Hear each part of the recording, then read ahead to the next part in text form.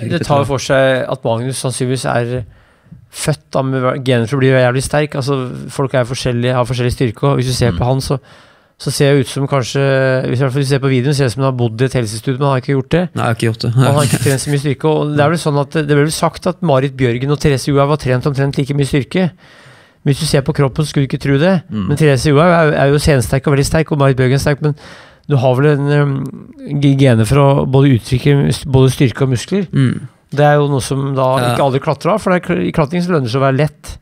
Mm. Mm. Altså har vi liksom forskjellige teorier om det. da. Det er jo ene teorien min som sikkert egentlig ikke stemmer. eh, men, eh, men det er jo at altså, For det, pappa er jo 1,86 høy. Mamma er sånn 1,70. Så, og, så egentlig så tenker jeg at kanskje jeg har kroppen som Jeg skulle egentlig blitt litt høyere. eh, men så har jeg, styrk, jeg har styrken til en som er 1,86, men i en 1,73 meter høy kropp. At det, det er. Men jeg vet ikke. er, Har du søsken? Jeg har søsken, ja. Ja, Og de? broren min, lillebroren min han er ca. 1,80, Mm. og søsteren min er 1,70. Så jeg er liksom bare 3 cm høyere enn eh, søsteren min. Eh, så det, det er jo litt merkelig. Vi har flere teorier i boken om hvorfor det er. da. At Mm. jeg spiste lite i en periode, og det kan være mange, mange grunner til det. Ja, for Jeg har en veldig lav eh, familie på farssida. og Ja. eh, jeg er vel eneste høye i min familie, nesten. Ja, er du Eh, 1,85, eller? Eller, mamma er jo litt høy da, Ja, til å være kvinne, men pappa er 1,80, 1,79 ish. Du er igjen 1,86. Ja.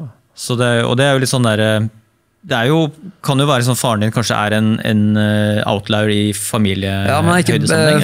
eh, far, Farfaren min var også høy. Ja. De har liksom vært høye på alle, alle sider av slekten, egentlig.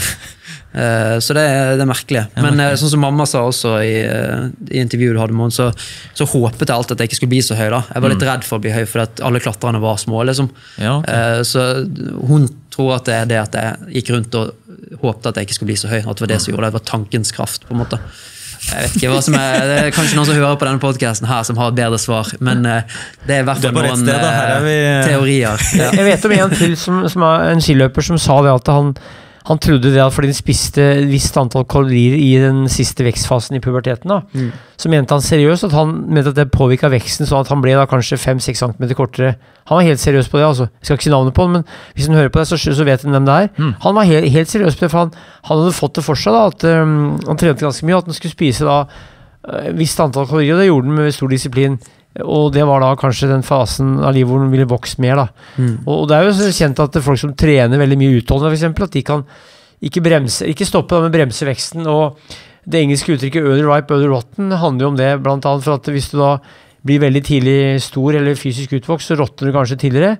Og det er også en teori på at hvorfor folk har blitt lengre da, de siste generasjonene, er at det, en ting er at de får mer mat, og kraftigere mat kanskje, men også at de, når du ikke da har så mye tung kroppsarbeid Hvis du har mye tung kroppsarbeid fra du er ung, så kan det, noen mene at det kanskje kan gjøre at du ikke når det fulle vekstpotensialet i høyden, da, men at du blir desto sterkere. For mange av de, for eksempel, av de skiløpere jeg skrev om på 30-tallet, var kanskje 1,63 og sånn, men de var jo mye sterkere enn mannen stort sett på 1,85.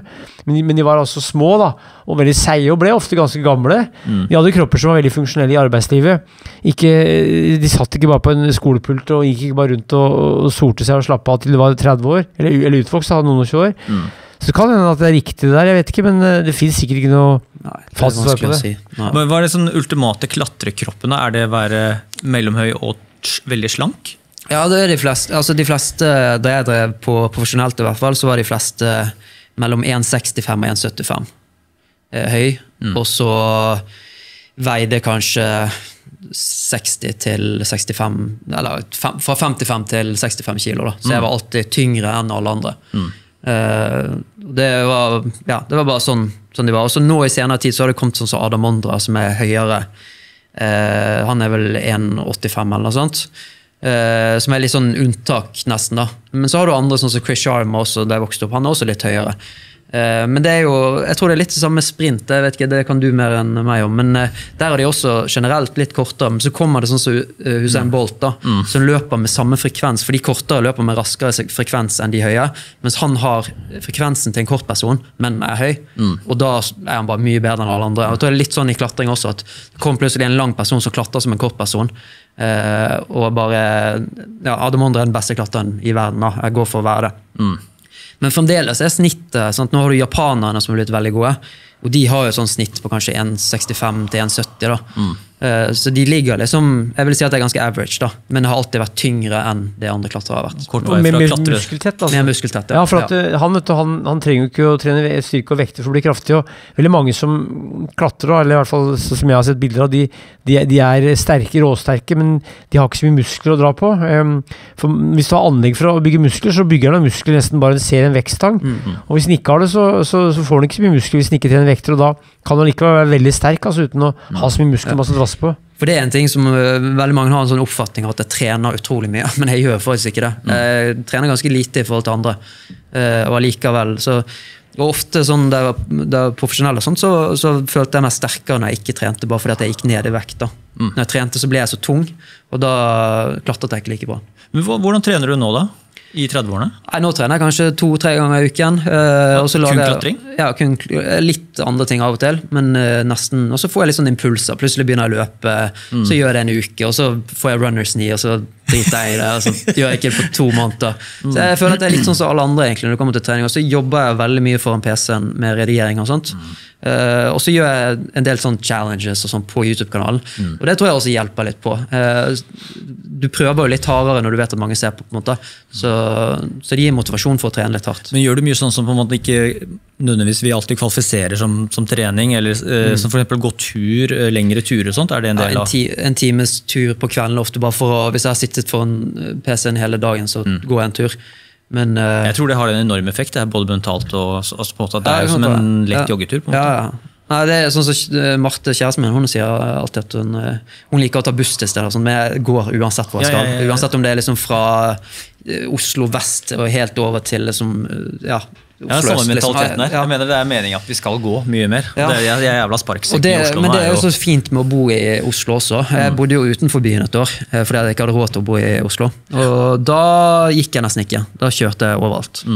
Du, mer, du merker det, altså jeg savner å gå hvis jeg går veldig lite en periode. Så på en måte det, da kjenner jeg at jeg er sånn, Nå må jeg komme i gang med gåingen igjen. altså På daglig basis. Jeg tror det er jævlig viktig. Da jeg flytta til USA første gang i 1982, så, så var det ingen som gikk. vet du. Ingen som gikk. Nei, det. Og, og det var ingen som sykla heller, så det var én som sykla til jobben, og det var en by med 20 000-30 000 innbyggere. og det var, det var ingen som gikk, og det var noe av det jeg sa mest. Så jeg gikk jo og sykla mye, da, og det, det fikk jo helt panikk, husker jeg. og jeg leste en bok om han Roger Bannister, han første i verden som løp under en mile på øh, altså under fire minutter på en mile. Det var 3.59,4 i Oxford i 1954. Han nå kom til USA på 50-tallet, og da fikk han sjokk, da, for det var ingen som gikk, sa han. Ingen som gikk, og, og det å gå er veldig bra for både psyken og for det hele menneskelige systemet. Så gå er noe av det mest naturlige vi kan gjøre. Og, og, og, og enten at du går for å komme til og fra, eller gå som meditasjon eller tur. Og det, det, det, det skal ikke mer til enn å gå, altså. Mm, det er to ting jeg gjør særlig. Det er å gå, og så ligge ned og slappe av. Jeg ligger og slapper av på gulvet eller i senga og bare slapper av og lukker øya. Mm. Sånne enkle ting du kan gjøre et kvarter om dagen, og sånn, og så, som gjør at du får Det er balsam for kropp og sjel. og Det, gir mye større, større virkning ofte enn en tenker over. At gå er noe av det mest menneskelige vi kan gjøre. Altså. Ja, og jeg tror det er bare viktigere og viktigere jo eldre du blir òg, da. Sånn der, eh, spesielt se på faren min og sånt nå, hvor, liksom, hvor mye gåturen han gjør liksom daglig. Bare gå for å tippe i, fra Høvik til Sandvika, som er sånn gåtur på 20-30 minutter fram og tilbake. Eh, Det er, sånn, bare, det er jo ekstremt undervurdert liten greie. da, at Man motiverer seg for å gå liksom, for å ha noe å gjøre med de kupongene, og så går han tilbake. Så det er veldig sånn, Jeg tror å lage sånne avtaler med seg selv Noen har bikkje, da, det tror jeg er kjempelurt når du blir eldre. på en måte tvinger deg ut. da. Men, så, men som klatrer så unngikk han å sykle. Han sa, sa for de skulle ikke få muskler, var det det, i beina? Ja, jeg unngikk alt sånn sykling og også sånn hardgåing, eh, ski, alt mulig. Det er helt ikke, de gjorde ingenting annet enn å Det var liksom å ligge flat eller å trene. da. Ja. Og, så jeg har jo trent mye, og mye av det grunnlaget er jo pga. at jeg har trent mye. Mm. Eh, og så nå prøver jeg bare, Det jeg driver med nå, er mer sånn vedlikehold enn trening. Mm. Men var det det strenge regimet der som også kobla seg på det du snakka om i forbindelse med 'Mesterens mester', hvor du eh, snakka om sånn spiseforstyrrelser og på en måte sånn at du innser at, måte, at vekt blir en litt for stor del av livet enn egentlig skal Ja, ja. Altså det skrev, skrev jeg om i boken, da. men det, det er jo Det var omtrent et halvår hvor jeg nesten ikke spiste og bare prøvde å trene fordi jeg følte at eneste måten jeg kan eh, bli bedre på, det er å se mer ut som alle andre klatrere. Ja. Så jeg var liksom helt nede i sånn 60 Nei, eh, ja. eh, 55 kilo, typ. Shit. Og det med samme høyde som jeg har nå. Så det Hva jeg- spiste du da? Nei, sånn et par epler og en skive på en dag. Ja, yes. en, på en hel dag. og så gjorde det over lang tid. da. Mm. Så, det, men det tror jeg var bare noe jeg måtte teste. Og så, sånn her, Hvor går grensen til spiseforstyrrelse? på en måte? Altså, alle har et, eh, sånn anstrengt forhold til mat som driver på, på det nivået i, i klatring. Da, eller også mange andre sporter, har jeg inntrykk av, sånn som ski og sånt.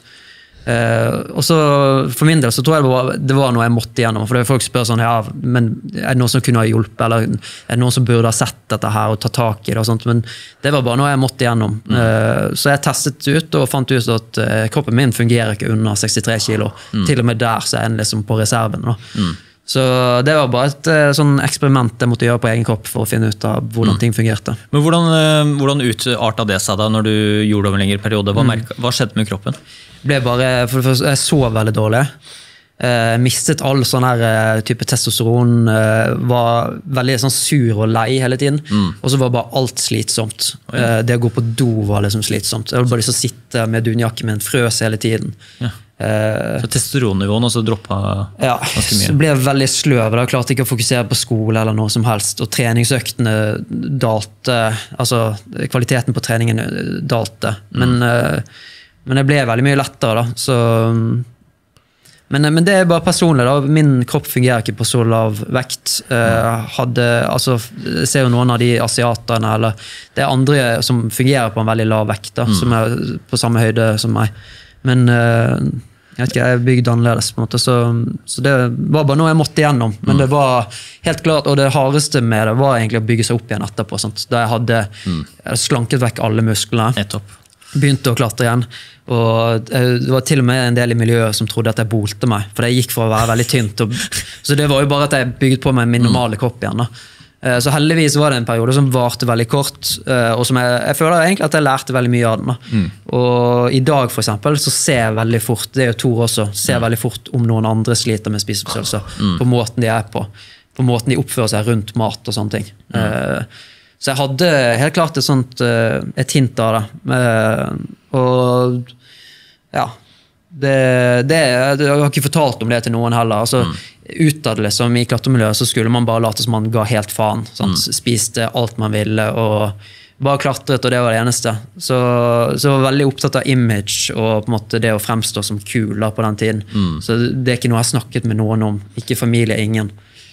Mm. mm. Nei, det er jo litt sånn gutter her også. det er jo gjerne holde ting for seg selv. Og, men ja. det, er, det, er, jo en, det, er en, det er jo en stort sprik mellom måte det der med å være sånn sykelig At det handler om hvordan man ser ut i speilet, til på en måte å bli, altså, bli helt sykelig opptatt av å prestere ja. i sporten sin. Det er, jo, det er jo liksom to forskjellige ting der også. Det er jo kanskje litt tabu å si det, men mm. kanskje noen må faktisk gjøre det eksperimentet for å, ja, faktisk for å bare se liksom, hva ligger i andre enden der. Så er det, bare, det er bare dritt. Liksom, alt, det er bare negative Eh, effekter. Da. Så per definisjon også av liksom Olympiatoppen og sånt, så er jo nesten alt spiseforstyrrelser. Bare du tenker deg om eh, to ganger før du spiser et eller annet, så er det spiseforstyrrelser. ja. Så det er liksom sånn, Hvor går grensen, da? Ja, uh, det er gøy. Jeg, jeg syns det er kjempegøy å eksperimentere ja. med kosthold og se hvordan kroppen reagerer på det. Det gjør du òg, Tor. Du har jo ganske spesielle rutiner selv. Ja, og så er det jo sånn at alle mennesker har jo egentlig kan, du kan nesten definere at alle mennesker har spiseforstyrrelser, hvis, hvis, du begynner å ha den mm. definisjonen der. Mm. Men for de fleste mennesker tenker jo at de ikke skal bli feite, og så spiser de kanskje litt mindre enn det blir gjort. og hvis, hvis det, så, så alle,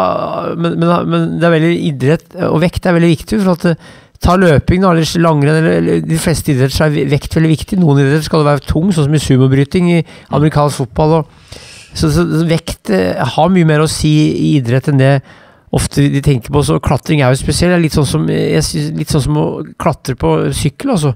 Hvis du går ned to kilo, tre kilo, så blir det mye bedre klatre på sykkel. Mm. Hvis du går ned to-tre kilo av klatring uten å miste så mye muskulatur som, som kanskje Magnus gjorde, da, jeg vet ikke. Mm. Til og med om du mister muskler, så er kroppen så ja. smart at den tar av de musklene som sånn så hvis, jeg, hvis jeg eh, ga litt faen en periode, spiste mye og trente mye, så vil jeg få ganske stor sånn brystmuskulatur og sånt. Mm. Og det er jo bare dødvekt.